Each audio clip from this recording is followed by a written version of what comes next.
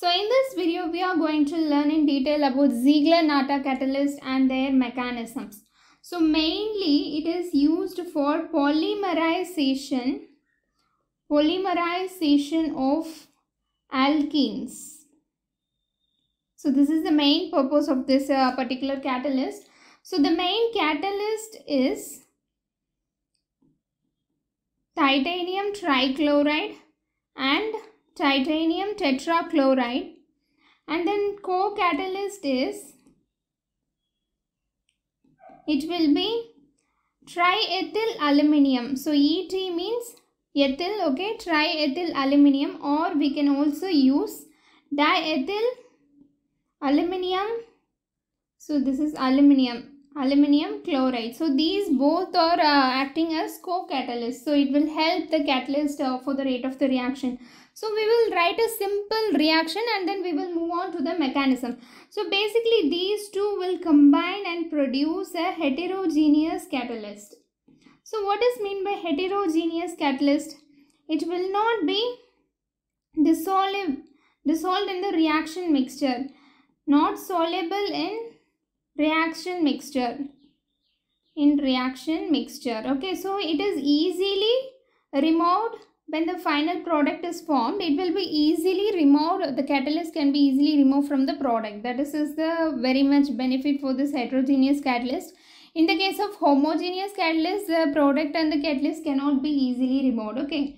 So if we see the simple reaction consider a ethene and then our catalyst is present so it will give something like uh, metal will be there and then CH2 CH2 this will be the repeating unit. See as you can see here then one ethyl group will be present.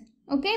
So basically the metal in between the metal and in between the ethylene group our particular uh, compound will be binding inside. Okay? That is the whole purpose. It is like an insertion between metal between the metal and the ethyl group the entire compound will be binding inside. The n number of compounds it will be repeating units. Okay consider if you are taking ch um, uh, ch2 and then uh, like ch3 is present. Now what will be the repeating unit? So metal is present and then repeating unit will be ch2 ch ch3 repeating unit and then ethyl group. Basically it is like an insertion between this ethyl group and metal. You will uh, understand more when we move on to the mechanism okay? Then what will happen is further we have to terminate it okay? We have to terminate we have to basically remove it uh, from the metal because this is now connected to the metal. So how we can remove it is we can use another one monomer. If another one monomer is used what will be the final product is ch and then CH2, CH2, N minus 1 and ethyl. So here N was present and here N minus 1 was present. So now it may look confusing, really confusing like how it is N and how uh, we got N minus 1. So later on after mechanism everything will be clear for you. Okay. So let's move on to the mechanism part. So there are two types of mechanism like two types are uh, there. The first one we are going to see is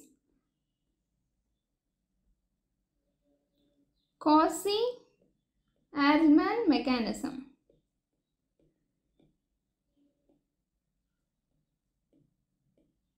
So in this particular mechanism, this is only supported by many scientists. Another one mechanism, we will also learn about that, that is given by Natta but most of them supported this particular mechanism only. See we know uh, the what is the catalyst and what is the co-catalyst okay? So these two will combine and produce an organometallic compound. It will look like this okay?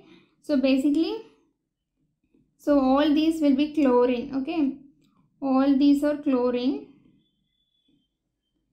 And then then one vacant side basically TiCl 1 2 3 4 5 is present okay? But it is not really TiCl5 this chlorine these you know what is crystal lattice? All these uh, all these complex are connected right? So this chloride will be connected to another uh, ti so it will be like a overall crystal lattice. It is like a repeating unit okay? So basically only three chlorine is connected to one particular. So for one tl uh, three chlorine will be there. So this is like the arrangement okay so now what is going to happening is now we will uh, like bind aluminium triethyl aluminium right? So what will happen is this aluminium this uh, see ethyl group is having two electron in this bond right? So along with this two electron it will go and attack this vacant site. Okay now someone has to go and attack this aluminium right? So this any chlorine any one chlorine will be labile and that chlorine you have to take and along with this it will go and attack this aluminium so what will be the product aluminium ethyl ethyl and then one chlorine is present and then rest will be our Ti, right? Ti is present and then here uh, all these things are chlorine and then our ethyl group is present, okay? So now this is the main reaction, okay? So this is the main thing we are going to use for everything. This is on this only. So now this space is vacant, right? From this position only we took the chlorine. So this space is vacant. We can take a simple alkene, okay?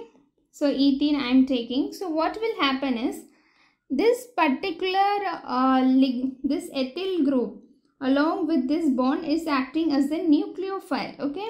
So this two electron along with this ethyl group will go and attack or uh, one carbon. And then rest this two electrons will be there that along with this will go and attack our metal. So basically it is attacking to our metal okay? So basically the bond so this is considered this is the carbon 1 this is carbon 2 now carbon 1 is bound to our uh, titanium metal and carbon 2 is bound to ethyl group okay? So titanium so here uh, there is a vacant space and chlorine because the ethyl group is leave, left okay chlorine chlorine and then chlorine. Now titanium is directly attached to carbon 1 and it is directly attached to CH2 and another one ethyl group is attached now. Okay, so this is carbon 2. So now this can be a product or there is another one possibility of product that is this uh, entire group is migrating to the same position where the ethyl was initially present.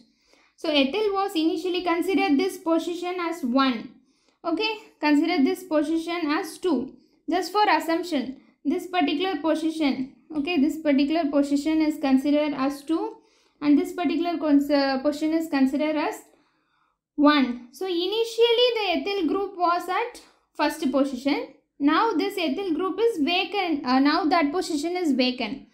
There is another one product that can be formed that is titanium. In this place the CH2, CH2 and ethyl will be there. And then chlorine and then chlorine, chlorine.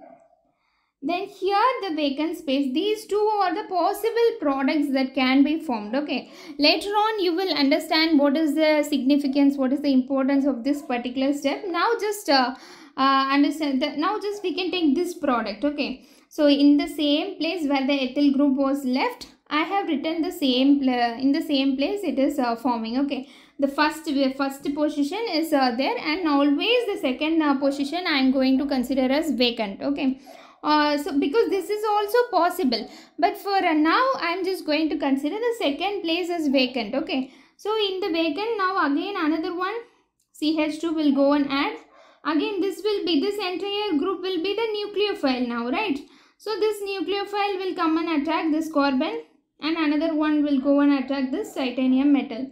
So again what will happen? I am going to uh, leave this place as vacant. Okay, so the rest will be formed here, right? So CH2. So this is the first carbon that is attached to the titanium metal and the, this bond is attached to C another CH2. Now, see this is very important. The connectivity of carbon is very important. Okay, see titanium has one bond. So that bond is like this. Okay, okay to with this carbon carbon 1 carbon 1 and this uh, carbon 1 is attached to carbon 2 this is this carbon 2 is now attacking which carbon this carbon right so now this is carbon 3 this is carbon 4 So carbon 3, carbon 4 and then it is attached to ethyl group. As you can see, the CH2, CH2 group is repeating itself. Basically, even number of carbon groups will keep repeating. The same step will keep repeating. That is the whole polymerization process. Okay. So already uh, initially we saw that there will be a metal and then this CH2, CH2 will have totally uh, various n number. Here how many number? Two numbers of uh, two numbers is present and then one ethyl group is present. So now this step is over. Like keep uh, we you have to keep on repeating this. Okay. Now we have to terminate this. Okay. The, the only then it is over right. So terminate this there are three ways three ways possible to terminate okay? Now the first is active hydrogen. So one OR group with one hydrogen uh, this is an active hydrogen. So now this hydrogen here will go and attach to one CH2 here. So to here totally four CH2 will be present. So in that CH2 one of the CH2 will be occupied by this hydrogen. So this will be the final product in this case okay so another method uh, for uh, termination is, so what we can do is we can add another one monomer. So this is the most probably used one. Okay. So another one monomer is there. Now this, um, uh, listen, we can uh, write this as, I'll write it separately. Okay. Metal is there, CH2, CH2 and then CH2 and CH2 and ethyl group ethyl group is there. Now i have to terminate this. So what i am going to do is i am going to add one uh, ch2 ch2 another using monomer okay? So what will happen is this metal bond along with this will go and react here okay? And then what will happen? This bond here consider this hydrogen is like this. So this bond along with this two electron will go and capture this hydrogen. Then this bond will be uh, empty right so this uh, now this bond is having two electron right that will go and attack here. So what will be formed? CH2 double bond CH and then CH2 CH2 ethyl group.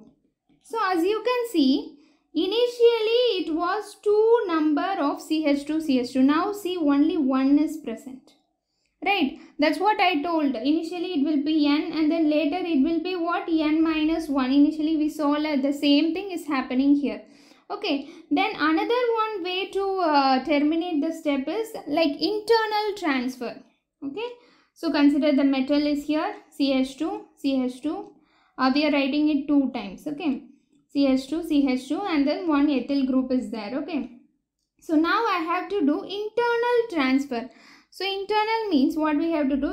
Always take the beta hydrogen okay? So here also we took the beta hydrogen. See from metal this is alpha this is beta okay? So this beta hydrogen this metal along with this electron so this two electron will go and attack this hydrogen okay? Now this two electron here will come and attack here okay? So what will be the product? The metal and then hydrogen and then uh, plus plus CH2 double bond CH CH2 CH2 ethyl. So this is also the same product like here right? So this and this all same product only but the byproduct will be different. So here if you see the byproduct is MH right? But here the byproduct will be what means this metal is basically reacting with the CH2 so metal CH2 and then one CH3 will be present because this CH2 is gaining this uh, hydrogen. So this is the byproduct. So there are three ways this way this way this way three ways to terminate a particular uh, reaction in this polymerization okay? Okay now let's uh, move on to little complicated structure. Consider CH CH and CH3 now this is uh, reacting with our titanium. So consider two positions are there. So here ethyl position and here that vacant position. The rest will be we don't have to mind really. Those are all chlorines. Okay. So what is uh, what I am going to do means here uh, take it as carbon 1 and this is a carbon 2. always the carbon 1 will attack the titanium metal. Okay, the carbon 2 will be attacked by the nucleophile. So here, what is the nucleophile? So what is the nucleophile here? This ethyl group along with this 2 bond is the nucleophile. So this is going to attack the second place only. Okay. So now the first place. So this electrons, this 2 electron along with this uh, CH2 now will attack the uh, metal. So metal is uh, here, right? Huh? So it is basically attacking the vacant site. So what will happen? So the same I am writing titanium titanium is present. And then this uh, particular position the uh, titanium is directly attached to which carbon? Carbon number 1 so ch2 okay. Now this carbon number 1 is attached to what? Carbon number 2 so this carbon number 2 is attached to ch3 right? Then now the carbon number 2 is also attached to what ethyl group. So this is how you have to write. So I have written it in different portions. See initially the uh, this is 1 means this is 2. Okay. Initially the ethyl group was in uh, position 1. Now this entire group is in position 2. So either this can be formed or titanium this place may be vacant and this this also can be formed okay ch3 and ethyl okay. So uh, we will do another step and I'll talk about uh, why we need to understand this okay. So uh, again we are reacting with another CH2 CH and CH3 okay. So now so who will attack the carbon 1 so this is carbon 1 this is carbon 2 this is carbon 1 and this is carbon 2 so now uh, titanium will be attacked by the carbon 1 right? Carbon 1 and this whole nucleophile will be attacking the carbon 2 okay so what will be happening? So titanium will be there. And i am going to write the all the groups here okay? Here i am always going to keep it as vacant okay so now what will happen? Titanium has to directly attach to which carbon? Carbon 1. So CH2. And then this carbon 1 is connected to CH and CH3. Now this entire carbon 2 is connected to this uh, particular thing. So it, it will be like 3, 4 things. Okay, so CH2, CH, 3, 4, CH, CH3 and ethyl group as you can see. So here which is the repeating unit? Now itself you can note. So this is the repeating unit. So uh, basically a metal will be there and CH2, CH, CH3. This will be the repeating unit and then ethyl group will be present. So this will keep on repeating. So CH2, CH, CH3, CH2, CH, CH. It will be keep on repeating. So now why I have talked about the position means so whenever the ethyl group, initially where the ethyl group was present, this position, uh, if the if these groups are keep coming in the first position means then it will be forming isotactic polymer. So isotactic so these are stereoregular uh, polymer isotactic polymer. See because this is a stereochemical center see uh, it has four different groups attached to each other. So it is a stereochemistry so it will be forming isotactic so metal will be there and then ch2 ch so it it, uh, it will be ch3 will be like this. And then again one ch2 and then ch and again this will be like this. So isotactic means like this only okay? Ch2 ch so same side okay? I have written above same side. It is in same side so in case of, in case, if in case initially uh, this uh, this repeating that is the nucleophilic group is in this uh, one position and then again shifting in two position. If it is keep shifting means then we will get what? Uh, syndiotactic diotactic polymer. So i hope you understand what i am trying to tell. So what i am telling is so initially titanium is there and uh, vacant is there. So if every time so we are adding one monomer each time right? So each time whenever we are adding monomer so if it is 1 if it is 2 each time it is going into second position means we are going to get isotactic polymer. If in case one time uh, the monomer is going into second position and another time the monomer is going into first position similarly the because the vacant site is shifting between 1 and 2 then uh, it will be syndiotactic okay? Monomer and then ch2 ch so it is above and now ch2 ch next time it will be below. So it will be like a um, like opposite opposite ch2 now it will again be above. So this is syndiotactic okay next one is atactic polymer. So atactic polymers it is very very random. Okay. One time it will be above next time it will below below below. Then maybe it will be it is like a random ways this ch3 will be uh, there. So basically this uh, uh, vacant say site is uh, shifting very randomly. Okay. I hope you understood this concept okay next let's move on to bimetallic. The next meta mechanism is bimetallic mechanism by Natta so initially now we saw uh, that is uh, like one metallic uh, uh like one metallic uh, mechanism. Because only one metal was used right titanium. But in this case two metals also will be used in the mechanism okay. So we know that aluminium is present triethyl aluminium is present and then titanium trichloride is present okay?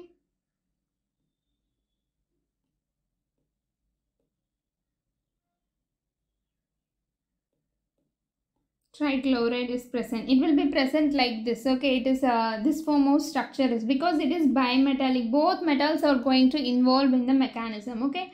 So now we are going to react our alkene ch2 double bond ch and then ch3 okay consider this is 1 carbon number 1 and carbon number 2 always this carbon number 1 along with this electron will go and attack this metal okay so once it is attacking a titanium can have only a certain number of bonds. So three bonds. So this is going to go here. Okay, here uh, the this bond is going to go here. Okay, so uh, that is totally four bonds was there. Now since we are adding one alkene, uh, this bond is going back to this two electrons is going back to ethyl group. Okay, so it will look like this. Okay, aluminium and then ethyl uh, ethyl group two ethyl groups are here and then this ethyl group has gained one electron so it will be minus and then one chlorine is here and titanium chlorine chlorine now titanium is uh, attached we can put it upside okay now this titanium is attached to one ch2 this is carbon number 1 and another ch2 this is carbon number uh, 2 and then it is bonded to ch3 okay so now this is uh, this is CH. Okay, now this will having a positive sign. So this carbon 2 is going to get a positive sign. Why? Because this 2 electron, it has given away its, uh, so carbon usually has like 3 or 4 electrons. So now this carbon is having only uh, 3 electrons. So now it is deficient. So it is uh, positive. Okay. So this plus and this minus will react. Okay. And then this 2 electrons from here there will be two electrons here these two electrons will go and attack this uh, ch2 okay that is the next step. Okay this minus and plus will bind. And then this uh, aluminium is directly going to attack this ch2 so basically aluminium is there ethyl group is there and this aluminium is directly now attacking which one? Ch2 now ch2 is bound to chlorine. We know that okay? Now this CH2 is bound to which one? This CH. And this CH is bound to CH3 and this uh, plus is bounding to minus ethyl group. So this is, uh, so now as you can see what is the unit that is formed CH2, CH, CH3. So this will be keep repeating. Let's see another one also. So CH2, double bond, CH, CH3. Okay. So now what we have to do? So carbon 1, carbon 2. So the metal along with this electron is going and attacking here. So this will go in here. So it will be minus. So aluminium so ch2 since it is gaining electron it is minus. So the rest will be as it is. Ch3 and one ethyl group. And then here chlorine. And then titanium chlorine. Uh, and then here the, titan the titanium is bound to CH2 and that CH2 is bound to a carbon 2 CH and then CH3. So now this is positive sign so plus and minus will react and then what will happen is uh, this uh, bond this aluminium bond this along with this 2 electron is going to attack our CH2. So aluminium will be there directly attached to our CH2 and titanium and then so this CH2 now we have to be very careful so now this CH2 I have already written so this CH2 is attached to what another CH and one CH3 so now this CH2 CH is attached to what this carbon right CH2 CH2 CH CH3 and then ethyl group as you can see it has started repeating see this is uh, one group. This is one group ch2 ch ch3 and this is second group ch2 ch ch3 now 2 ch2 ch ch3 is added between this metal and this ethyl group okay? So let's move on to the uses. So it is mainly used to produce cis butadiene polymer cis uh, butadiene polymer okay? So it is nothing but uh, it is a natural polymer but you can make this uh, using this natural rubber polymer okay? So very useful uh, application. And then poly isoprene so this is like a synthetic rubber. Uh, so this is also formed uh, using this particular thing. Then we can form alcohol. Forms alcohol. From this we can form what? Alcohol. How we are going to see? Uh, see this is the metal and consider ch2 ch2 and uh, or uh, whatever ch2 ch2 how many number of times is present and then ethyl group will be present. Now we have to oxidize using oxygen. What will be formed is oxygen will be uh, between coming between here okay? Then ch2 ch2 and the rest will be there. And then next what you have to do you have to add H2O H2SO4 then what it uh, you will get is this is uh, minus electronegative group and this is plus.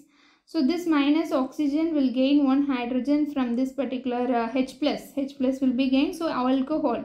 You will get this is like a termination step only that is uh, leading to alcohol. Okay. Then the condition for this overall Ziegler-Natta catalyst at what temperature it will be happening is it is around 93 degrees Celsius and the pressure is around 100 atmospheric pressure. Okay. So it is also uh, like uh, we saw about isotactic. Isotactic means what? Uh, all this uh, CH3 is in the same side okay.